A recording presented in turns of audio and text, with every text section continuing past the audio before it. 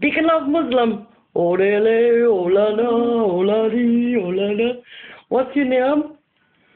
Paddy English. Paddy gonna blow things up. I wanna get this up there off.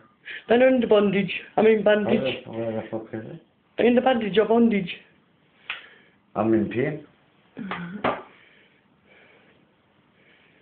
Well, Oh, that'll take custody this like. We'll try to think you're clever with that. You're bashed up. Yeah, man. En hij gaat rusten. Gaat je fucking aan het His fucking bones must have Gaat fucking... niet, zo wordt de fucking even. Oh, hè. Check the new hairstyle out. Oh, gorgeous.